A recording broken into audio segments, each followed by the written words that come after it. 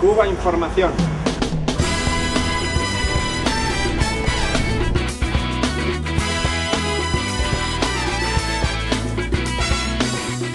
El pasado noviembre, el fundador de Wikileaks, Julian Assange, afirmaba que solo se sentiría protegido de la persecución a la que le somete el gobierno de Estados Unidos en tres países, Islandia, Suiza y Cuba.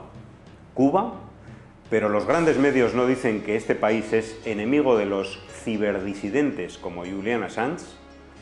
Evidentemente a estos medios les interesa otro tipo de ciberdisidencia, la que ellos impulsan y financian en función de su ideología e intereses. Por ejemplo, personajes como la bloguera cubana Joanny Sánchez, que según varios cables revelados precisamente por Wikileaks, es la gran apuesta del gobierno de Estados Unidos de cara a una futura oposición en la isla. Las pruebas de esta escandalosa fabricación política desde el exterior no solo aparecen en los citados cables, en una entrevista reciente a la prensa de Suiza, el ex jefe de la diplomacia estadounidense en La Habana, Michael Parmley, reconocía haber tenido numerosos encuentros con la bloguera. La más alta funcionaria de Estados Unidos que ha visitado Cuba en las últimas décadas, la subsecretaria de Estado Visa Williams, también sostuvo encuentros secretos con Joanny Sánchez.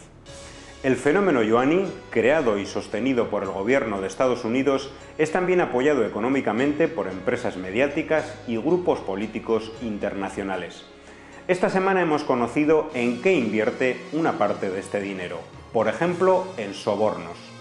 La prensa de Miami y medios internacionales publicaban el vídeo de una conferencia impartida a miembros de la seguridad del Estado de Cuba en el que se habla del papel de la ciberdisidencia amparada por Estados Unidos en Cuba.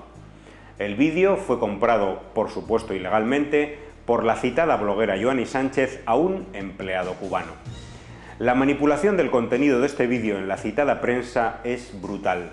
El diario español El País llega a titular El castrismo teme a Twitter y el nuevo Herald de Miami, vídeo delata temor de gobierno cubano a Internet. Si uno se toma la molestia de visionar sus 53 minutos, no encontrará una sola afirmación relacionada con dichos titulares. Al contrario, se desnuda la conexión directa entre el gobierno de Estados Unidos y estos ciberdisidentes, pero se habla de no temerles, sino de entablar con ellos una batalla de ideas en Internet. El conferenciante, un agente cubano según la prensa, afirma Bloguero es un término del que no nos podemos dejar apropiar. Ellos tienen sus blogueros y nosotros tenemos nuestros blogueros. Y vamos a combatir, a ver cuál de los dos sale más fuerte. Esto explica por qué, a pesar de las provocaciones constantes y a diferencia de lo ocurrido con Julian Assange, Joanny Sánchez no ha sido detenida ni se le han confiscado sus equipos.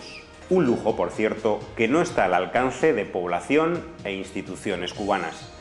Pero sobre todo esto y sobre episodios de verdadera censura en Internet, como el cierre del canal en YouTube del medio cubano Cuba Debate, los medios prefieren no informar, como tampoco de que Cuba sea uno de los tres refugios seguros para el verdadero ciberdisidente Julian Assange.